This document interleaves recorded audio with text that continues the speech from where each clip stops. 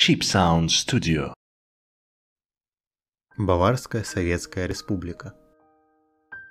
В 1918 году началась Германская революция. Монархия пала и установилась Демократическая парламентская республика – в ходе этой революции 7 ноября 1918 года Эйснер Курт совместно с лидером революционного крыла Баварского крестьянского союза Людвигом Гандорфером возглавил массовые демонстрации против монархии в Мюнхене. Уже в ночь на 8 ноября на заседании Мюнхенского совета рабочих и солдатских депутатов он объявил короля Людвига III незложенным, а Баварию социалистической республикой.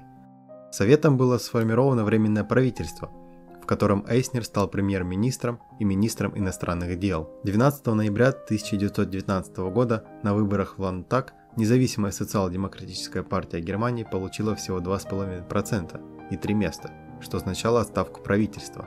21 февраля 1919 года Эйснер отправился в Лантак Баварии, чтобы официально сложить свои полномочия, но был застрелен монархистом графом Антоном фон Арковалли. Правые круги, которым принадлежал граф, ненавидели Эйснера. Его смерть привлекла к массовому возмущению и радикализации рабочих. Власть перешла к комитету действия из представителей Социал-демократической партии Германии, Независимой демократической партии Германии, анархистов и Коммунистической партии Германии. 17 марта Лантак все же собрался и передал власть социал-демократическому правительству. Баварская Советская Республика была превозглашена 7 апреля 1919 года. Лантак оказался распущен. Власть перешла к Центральному Совету Баварии и советскому правительству из членов независимой социал-демократической партии Германии и анархистов. Баварская республика выступила за союз Советской России и Венгерской Советской Республикой. В апреле была предпринята попытка вооруженного свержения советского правительства. После этого коммунисты отстранили от власти советскую коалицию и власть перешла к исполнительному совету, во главе которого стоял Евгений Левине.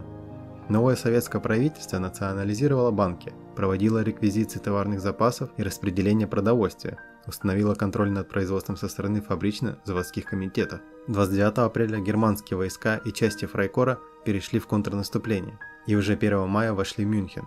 5 мая 1919 года были подавлены последние очаги сопротивления, в результате чего без суда было расстреляно более 500 человек, в том числе Ландауэр и Левине.